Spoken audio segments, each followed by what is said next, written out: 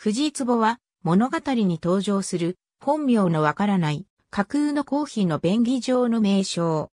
そもそも藤壺とは平安語諸皇宮の七伝語社のうちの一つ秘境者の別名であり、転じて秘境者を賜った皇妃の故障ともなる。代表的な例として、光源氏を主人公とする源氏物語に以下の三人が登場するほか、うつほ物語の当て宮などが知られる。桐壺帝の中宮の霊勢帝の母、後日、朱雀帝の女房、女三宮の母、一の異母妹。今上帝の女房、女二宮の母。藤井壺は紫式部が表した物語、源氏物語に登場する架空の人物である。作中で藤壺と呼ばれる女性は三人おり、混同を避けるため、藤壺の宮、または藤壺中宮のとも呼ぶ。光源氏の初恋の女性。先帝の記載原の女四宮。同母兄に、兵部教宮、異母妹に、源氏女子がいる。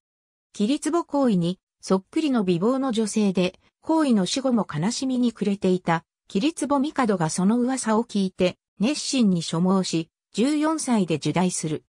起立母帝は、藤壺と最愛の息子、源氏を実の母子のように寵愛し、共にその輝かんばかりの美しさもあって、藤壺は源氏の光くんと並んで輝く日の宮と称された。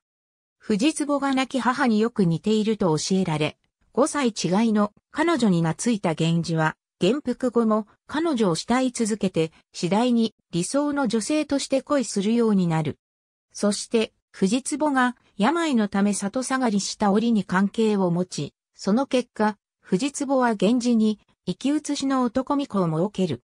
何も知らない、桐壺帝は、高貴な藤壺が生んだ、この巫女を、絆なき玉と歓喜し溺愛したが、藤壺の心中は複雑だった。その年の秋に中宮野に立候する。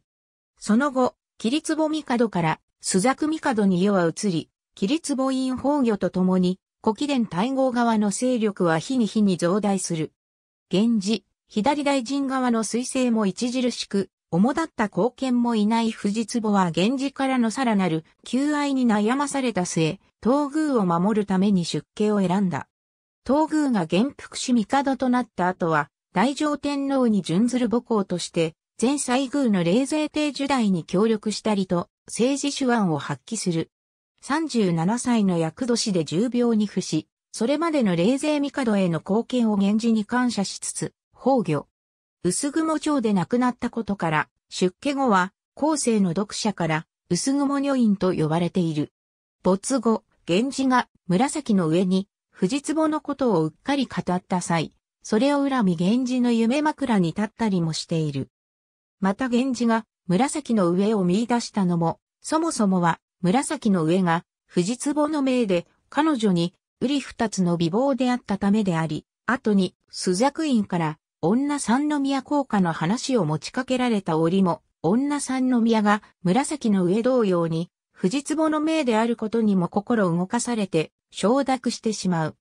源氏の生涯を通じて、彼の女性関係の根源に深く関わり続けた、永遠の恋人と言える存在であった。作中では藤壺が、女院と呼ばれたことはない。また立候前も藤壺が、女房であるという確かな記述がないことから、日の宮はすなわち、火の宮であろうとする説もあり、研究者の間でも意見が分かれている。ありがとうございます。